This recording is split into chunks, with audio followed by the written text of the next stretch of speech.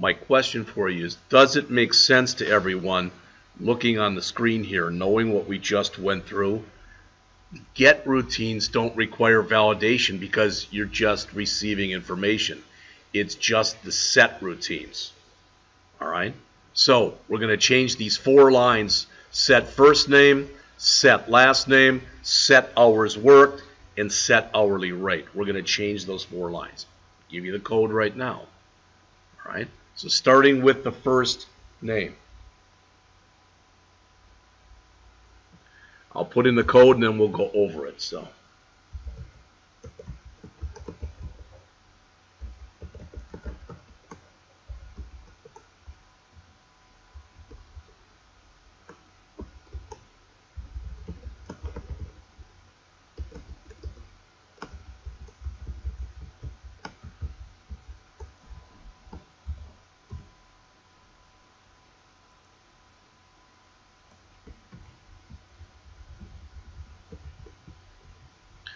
So if you look up on the screen, I've changed both the first name and the last name.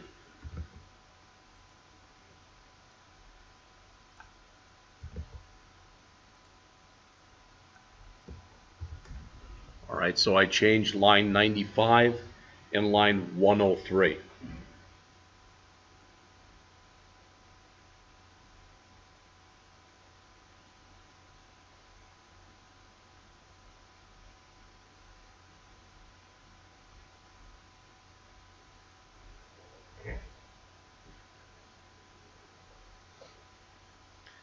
In English, this says, as long as I've got something in the first name field, whatever it is, accept that for the first name.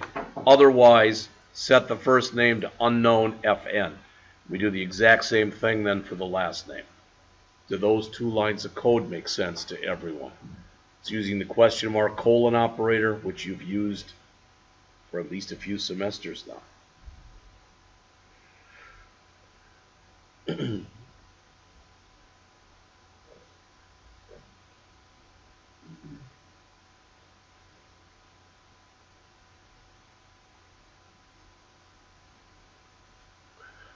So make sure you change line 95, and that's first name, and make sure you change line 103, whatever yours is. If yours is the same as mine, your, your line numbers may be different, but make that last name.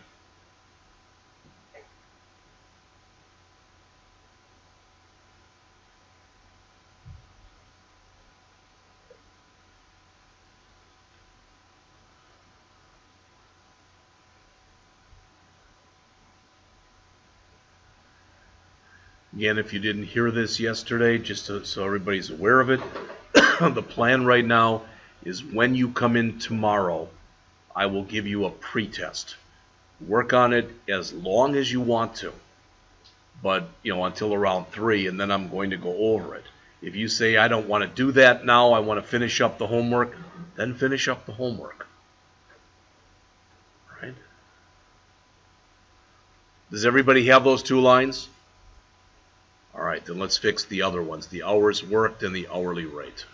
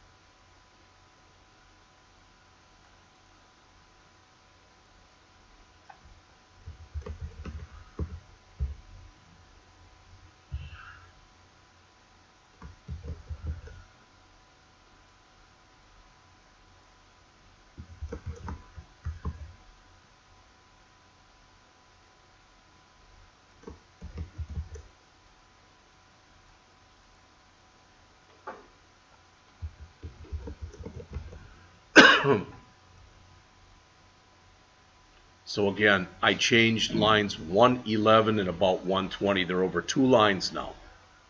All right.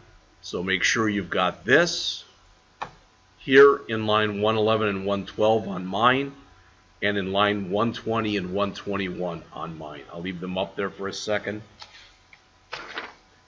We're almost done with the first part of this. Then we'll write the driver. Then we'll copy it and make changes to it so we can get it to work for, uh, for arrays.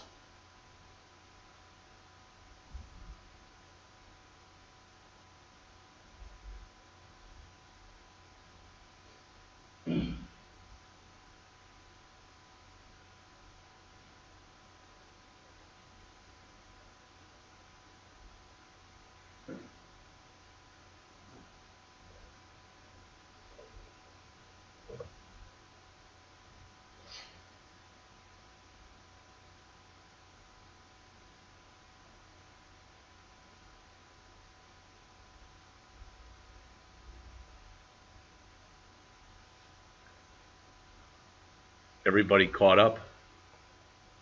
All right.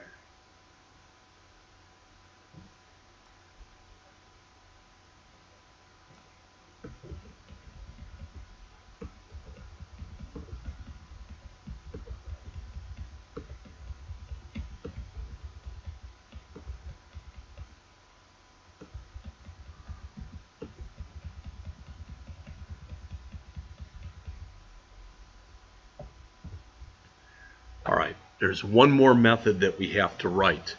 And that one more method that we have to write is the toString method. I want you to understand something. Hopefully you can, and that's this. We, we've looked at stuff like this where you wrote on the screen something like system dot out dot print line hello. Something like that. Everybody with me? You've all done stuff like this. All right? What this ends up doing is it ends up calling the toString method in order to do its job. We can overwrite the toString method so it does what we want it to do. That's what we're going to do right now. All right?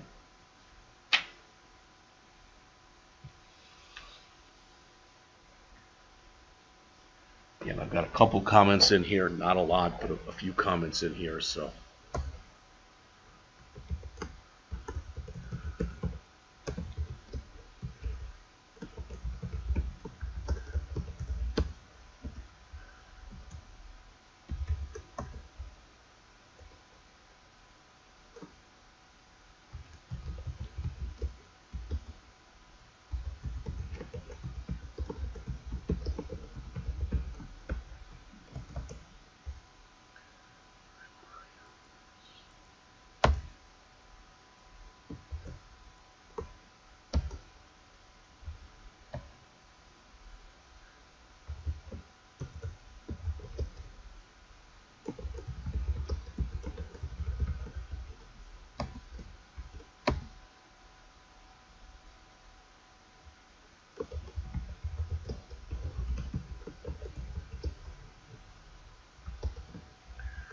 What I'm going to do right here, just so you know this, is I got this thing called output str, which stands for output string. And I'm just going to keep building it up by putting everything in there. So I'm going to put in the first name, then the last name, then the hours worked, then the hourly rate, then the gross pay. All right? Then the, uh, and that'll be it. And then we have to write one more method with like four lines in it to print out the final, our final total gross. All right. So.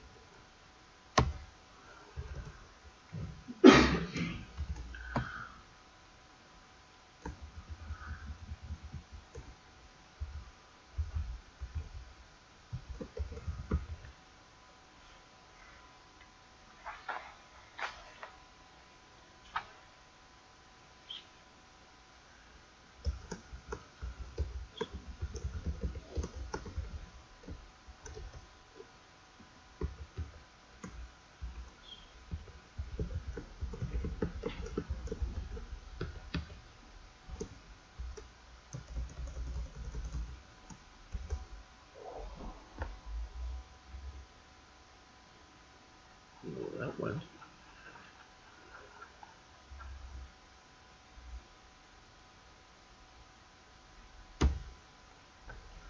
Doesn't it like here?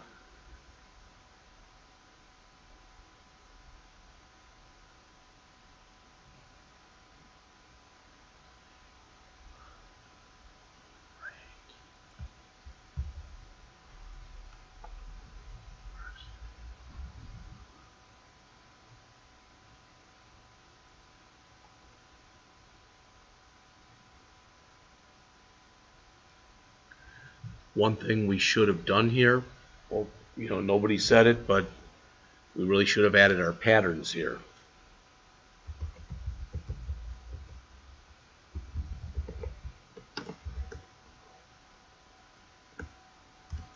That'll put hours worked with two decimal places.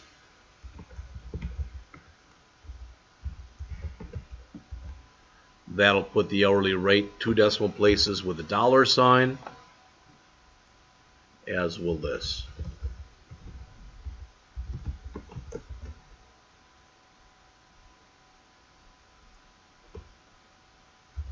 It's obvious something is still screwed up in here, so I'm going to see if I can find it.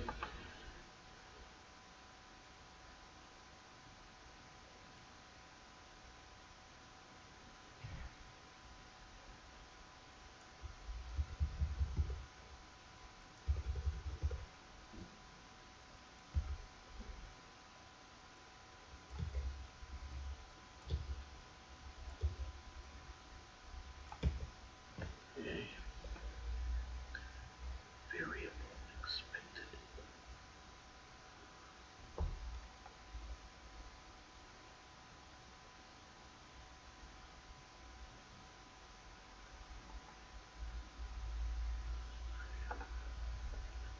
Oh, jeez. Hey guys, if you see me make errors, please tell me.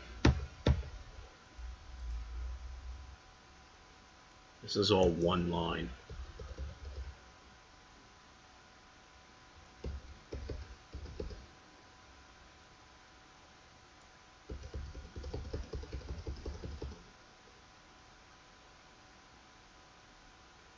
Or I have to end it. You can do it either way.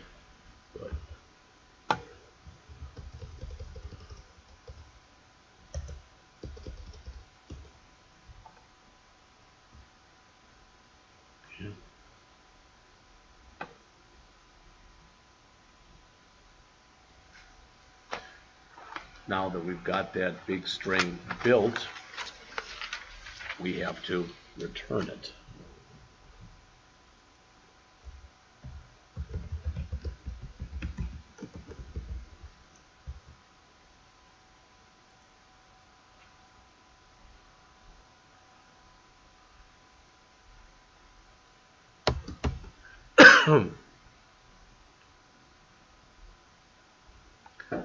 Does it make sense to everybody in here if you look on the screen?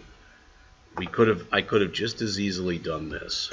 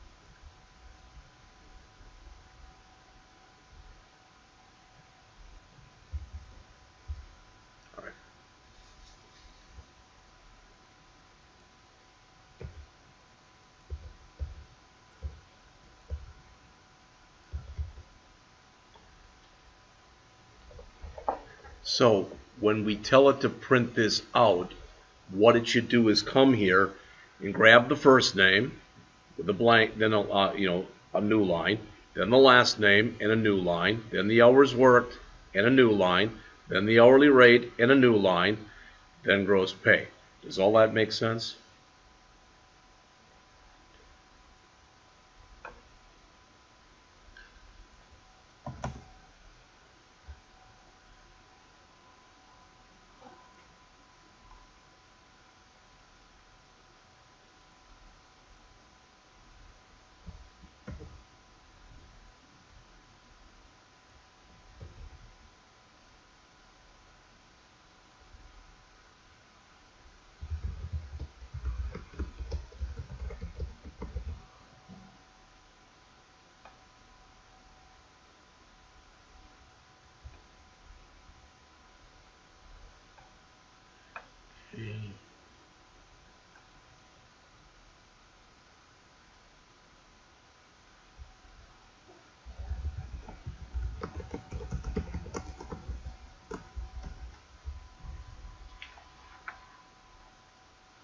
I have a question for you. How many total gross pays are there? Four. So what word do you think we might need at the beginning here? Close. Stack.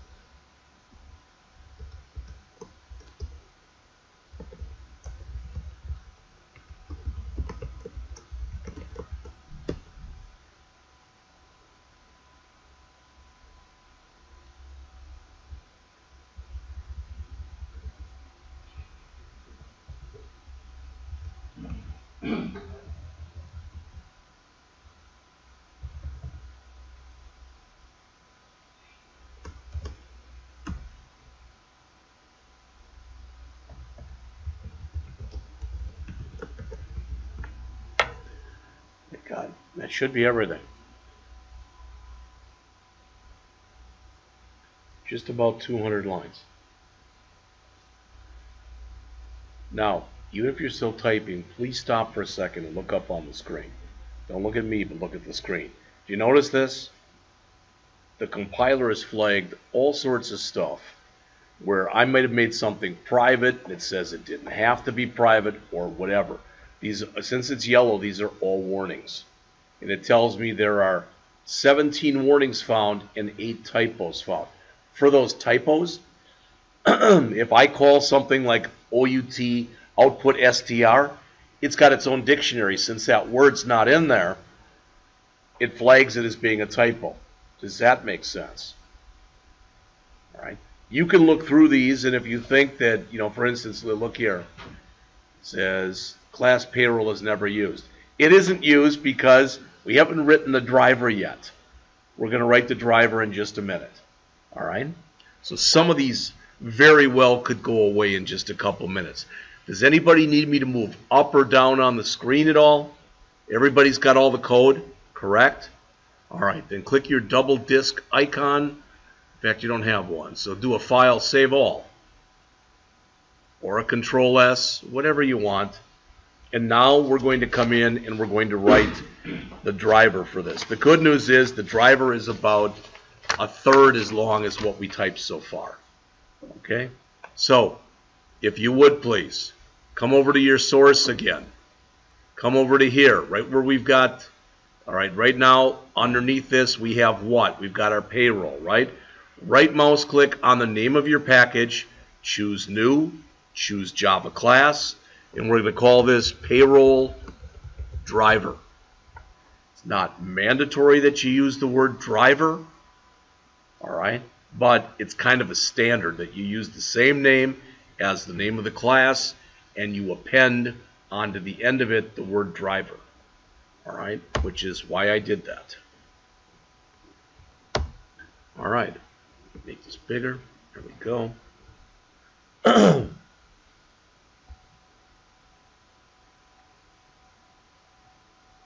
when we print this stuff out, do you remember the first assignment that you did? Remember when I had you do those message dialogues and that stuff? Remember that? Well, in order to use that, we've got to import right here javax.swing.star. So please put this line of code in right here. All right?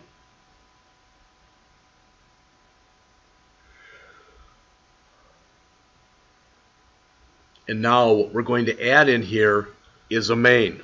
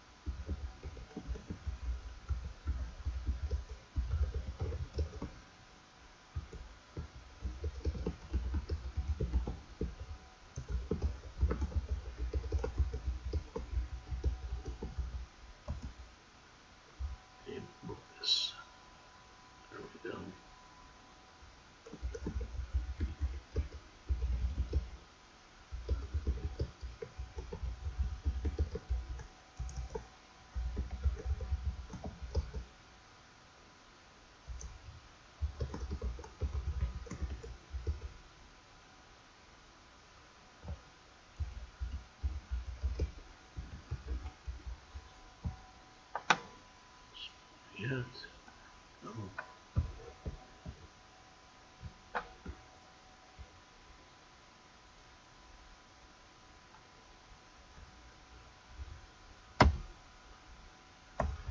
You should now be wise enough, for lack of better words, that you should be able to look at that and figure out that that's going to call the third constructor because we're passing four variables into it.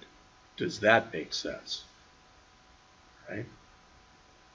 What should print out when we get done with this, what should print out is first name Jeff, last name Scott, hours work 40, hourly rate 25, gross pay 1000. Does all that make sense to everybody? That's what should end up printing out when we get done with this. All right, we're going to make a total of what? One, two, three, four, I think five of these, something like that, five to ten of these, I don't know. okay, the next thing we want to do is we want to be able to test this. So let's literally display all Jeff payroll object info. All right, so J option pane dot show message dialog. Don't want that there. Come on, get it. Oh, okay. I didn't write parent component there. There's some auto auto fill stuff in here. Everybody hear me? I did not write this in here. I did not write that. I did not write first name right there. I did not write last name. That's stuff the compiler provides. Did you hear what I said? All right, because this is very confusing. You might think, I got to type that in.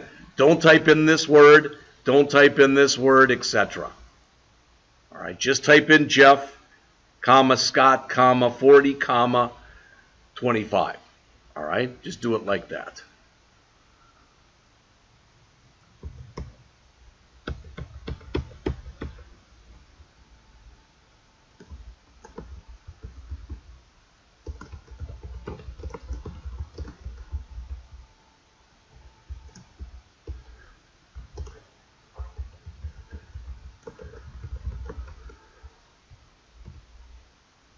Now, I'm going to, you, you don't need to do this yet, but I'm going to do a file, save all, and I'm going to see if this runs. I could get an error. I don't know.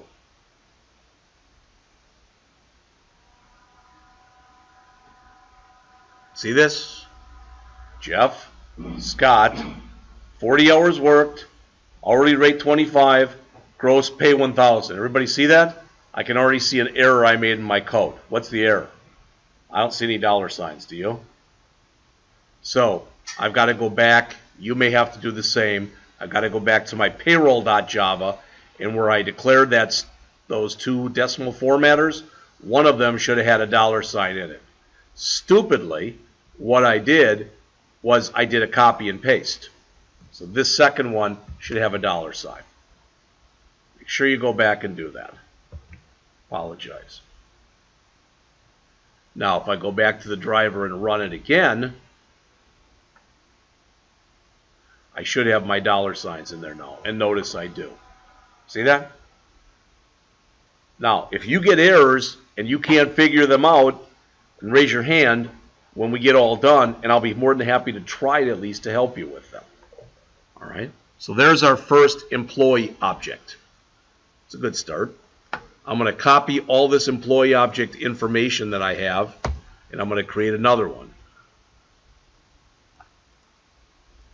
If you don't want to type it in or copy it, you don't have to. You can just go ahead and retype if you want. Whatever turns you on. This is the second one will be somebody else. And again, like I think I mentioned, I use my family.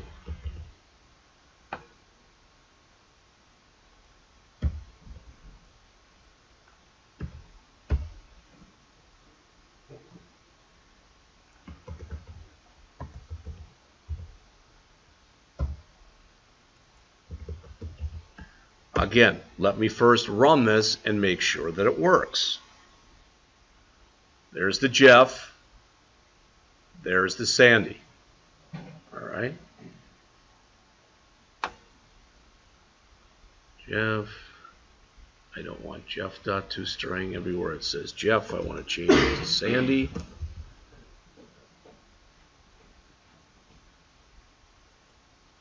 That's Jeff but down here that's Sandy, Sandy, Sandy. That should be Sandy dot toString. You know what I'm going to do? I'm going to walk over to the office and I'm going to grab the copies I have for you. Might be easier for you, for this part of it at least, to work off those copies.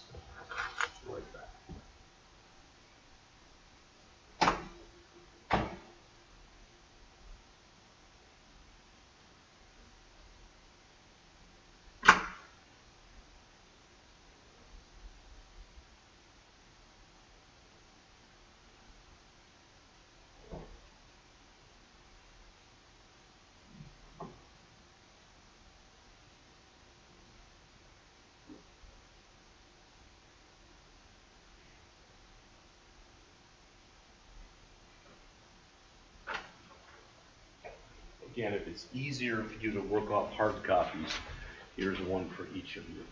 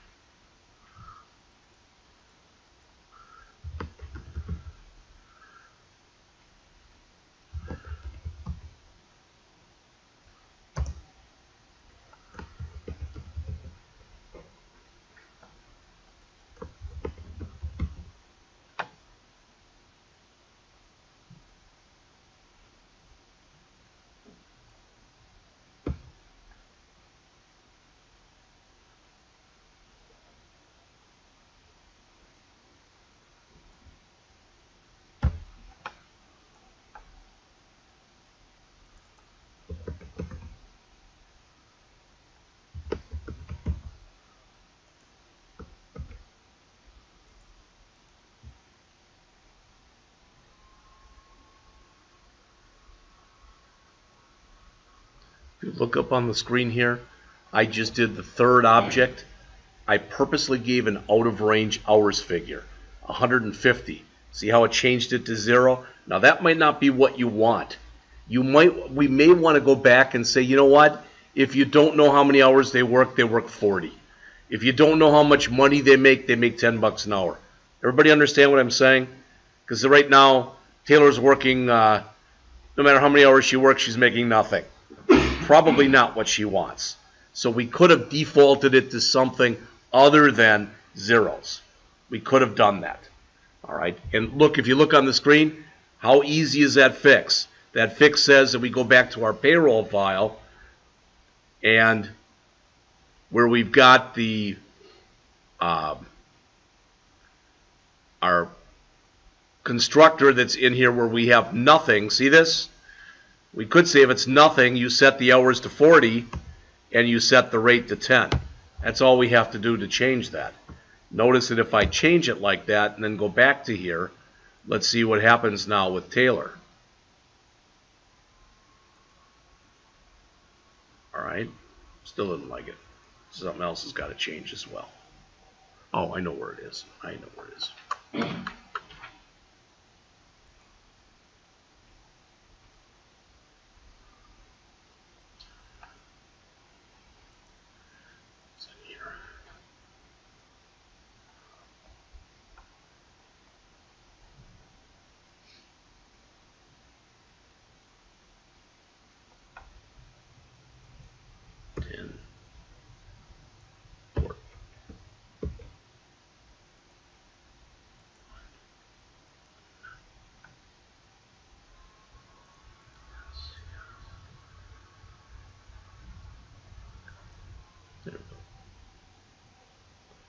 When I get done, I want to run over the entire, even if it takes 10 or 15 minutes, I want to run over the entire um, driver with you. All right.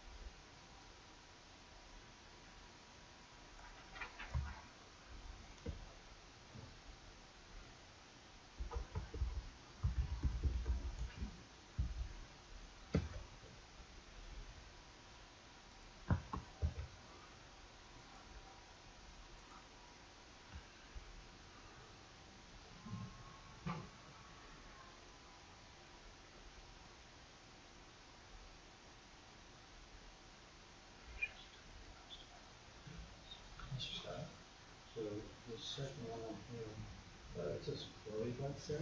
Yeah. There shouldn't be Olive. Probably. All right. Yeah. Don't don't even worry about it for right now. Okay. If you look up on the screen, please. All right. I haven't filled in everything, but this is what I want to show you. So this is what I want you to look at. Notice we're creating an object here. Everything's valid.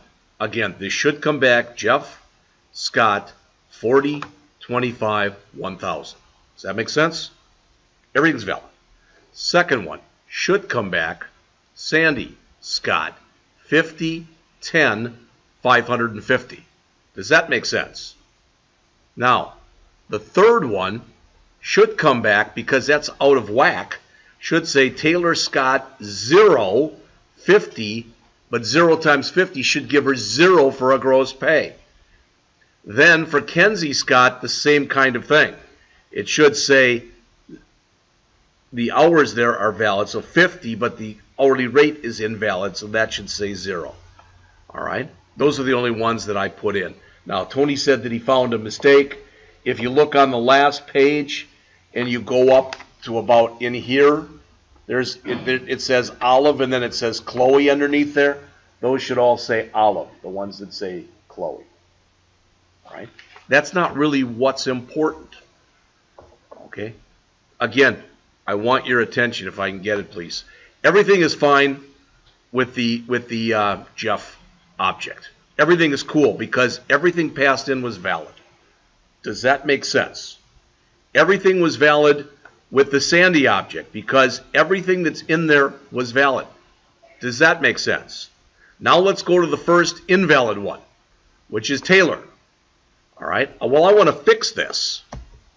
So what do I want to do? I want to say Taylor dot set hour whoops set hours worked and I want to give it a valid hours worked.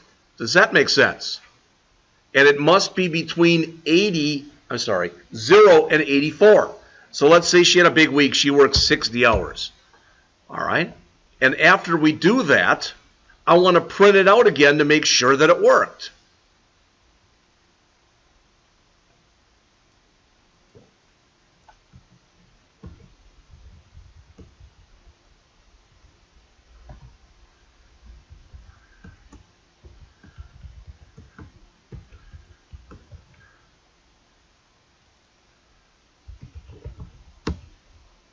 So again, please look on the screen if you would. Notice, there's number one, all valid. There's number two, all valid. There's number three, invalid. So we updated it. Now it's valid. All right, well, evidently I put up wrong hours in. Okay? But you see, we can call those updated things. All right? So we can change an object at any time by using a set routine. All right? And it was her hours worked. That's what I should have done. Not, not, I should have done a set hours worked here, not a set hourly rate. Hours worked. Okay?